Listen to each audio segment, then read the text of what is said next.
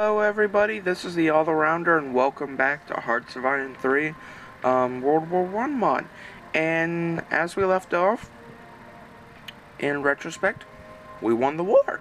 France capitulated, Russia capitulated, and Russia did not turn into the Soviet Union. As for the most part, Serbia, Albania, Montenegro, um, and pretty much Greece are gone the Ottoman Empire is on our side and completely sieging the northern part of Britain's North African colonies. As for the most part, they are on a small stalemate throughout the middle, the Middle Eastern region, and the pass to Asia underneath Persia. And what we're gonna do is we're going to have one set goal.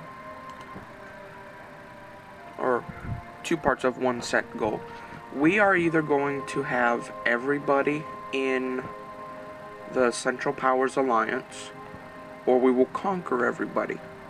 Granted, this might drag out a little bit if it seems to be a little too slow slash always so nonchalant and doesn't like pique interest um, then I will probably stop. But as for the most part, um, I've already influenced key countries in different parts of the world. I mean, we've got Persia, which would help expand the front against British, the British Indian region. Yes, I know there's parts of like Africa and um, Persia and stuff like that. This area was called British India. Um, we've got Persia, the provisional government, which is nationalist China. We've got Uruguay and we've got Venezuela. Now, they may not seem like big countries, but Uruguay is a great distraction for Brazil because Venezuela can save this front. But if Uruguay joins, Brazil will focus everything over here. So I'm just kind of keeping these as buffer zones, put that way. Mm, let's go.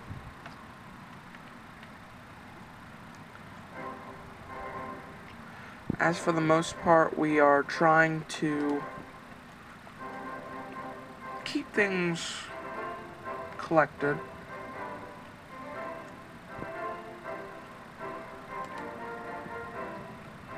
As usual, we're having a small minor issue with our supplies and stuff, but that can easily be managed.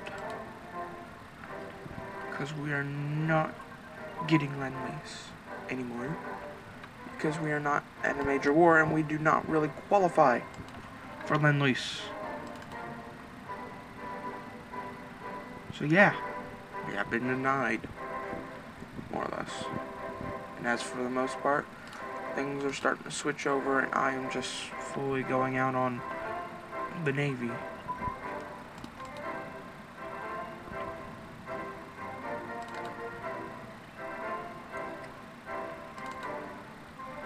What I'm trying to do is build up my navy and then build an assault fleet. And what I'll do is, let's say France wants to join the war again, because logic. What I can do is, what's this? Offensive.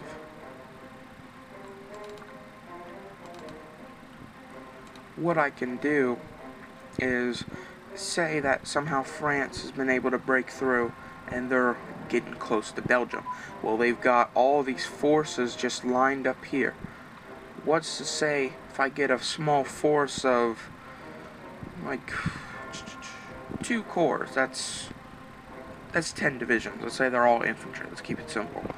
And I roll around and I land them back here somewhere in like La Rochelle. La Rochelle or Vendee. The nope, that's not right. Polo, po, Polilac.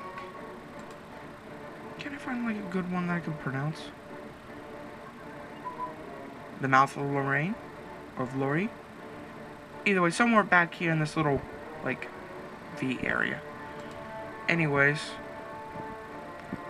I could easily expand out, capture, and made, made two major cities, Bordeaux and Nantes. Quickly establish a good defensive front here in the little peninsula.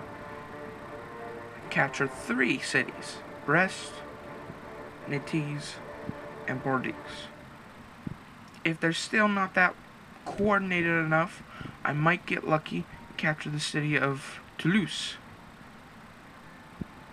Cherbourg, and if the fronts start to connect up and they capitulate on the front, that means I could get Caen, and so on and so on. But as for the most part, as you see here, I don't really have anything to spare because somehow we're all over in Greece. Why that's happening, I don't know. It's just a. I don't think it's not really a bug because it happens in the regular game too.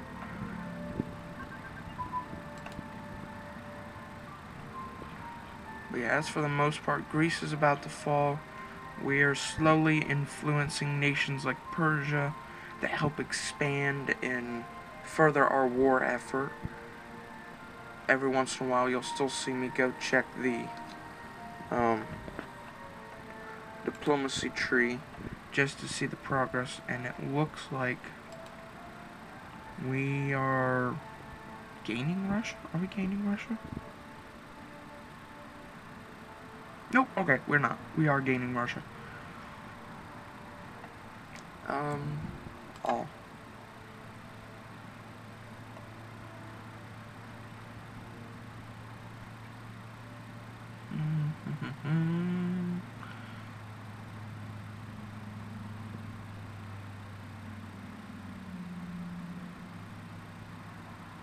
Okay, good. We are getting China too. That's a good thing.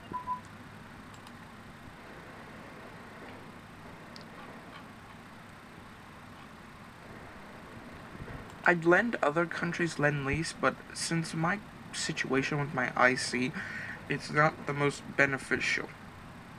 So I just kind of stay put.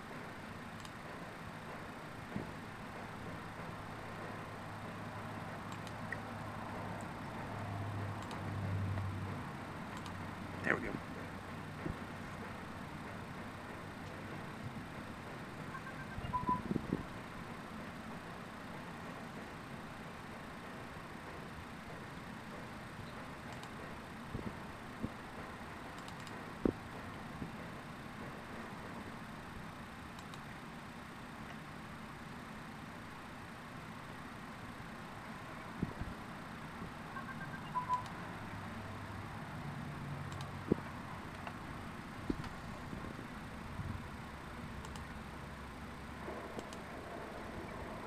That's interesting. Why was that set up like that?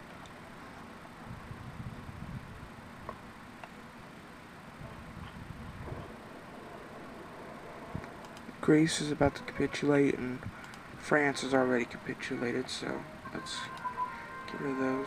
Yay, Persia! Now we have Persia on our side and they will help to extend the front. It may, it may not be much, it may just serve as a further distraction. But let's put it this way it helps to reconsolidate British forces and to help us form some kind of breakthrough. If they would treat a lot more annexed Afghan. Okay, well that was that was fast.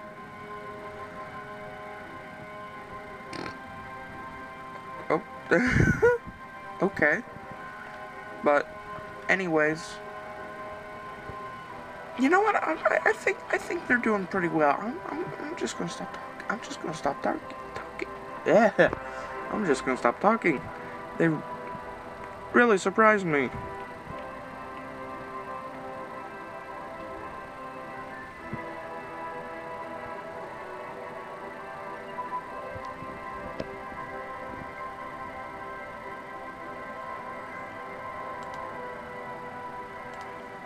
I can give them lend lease, but that doesn't mean I can distribute anything.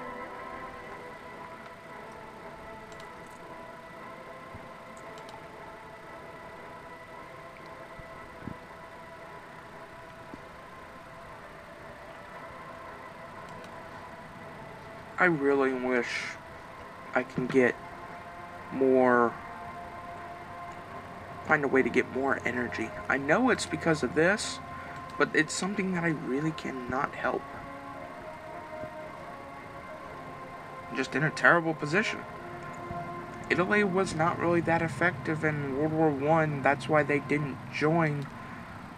And that's why they didn't join early in the war. Italy joined around 1916, 1917. Was a Spanish flu. The, the 1918 flu, flu pandemic was an unusually deadly influenza pandemic, the first of the two pandemics involving H1N1 influenza virus. It infected 500 million people across the world, including remote Pacific islands and the Arctic. It killed 50 to 100 million of them. 3 to 5% of the world's population, making it one of the deadliest natural disasters in human history. I did not know that. I like studying history and all, but I mean, I did not know that. What a mess.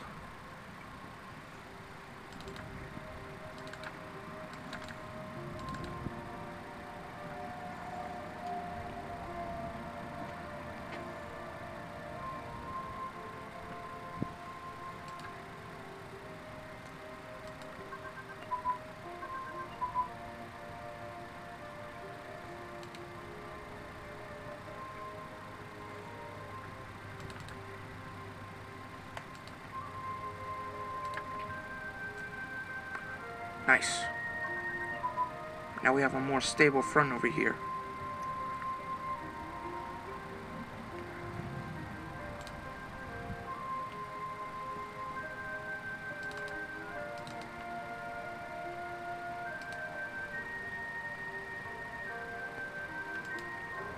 Where's Bulgaria in this?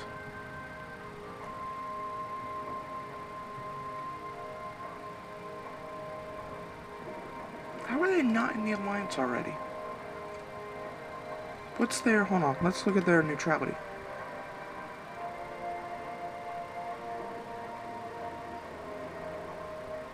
See, I can't invite them in the faction. It's got to be the faction leader.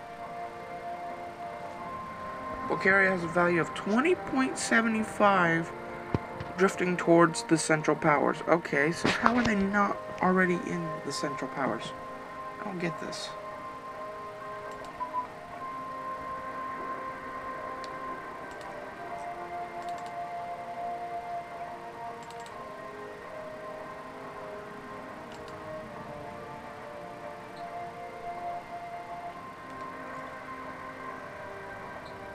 Portugal. We need Spain. There's a Spanish kingdom in this. They're drifting to the Triple Entente.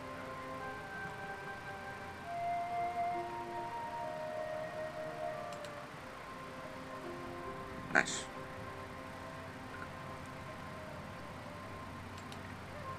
Ah, elections of 1918. So let's see, our head of state is Vittorio Emmanuel III. He's considered a weary stiff neck, susceptibility to internal pressures plus 5%. Organization regen. Oh, well, that's nice.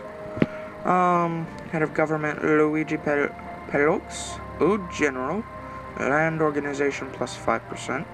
Foreign Minister Felice Napoleon, Napoleone Cav Cannavaro Cannavaro General Staffer Intel during peace plus 10%.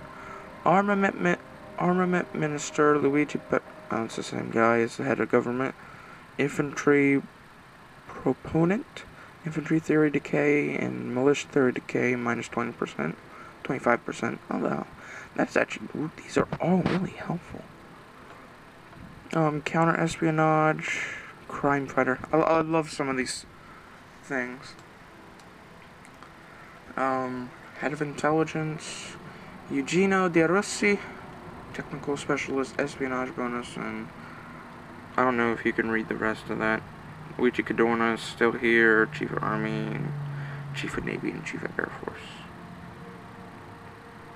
There you go. And as for the most part, this has been the all-arounder. And as always, if you like this video, please leave a comment down below. See if I can improve anything to better your, to better your viewing. And I will see you guys next time.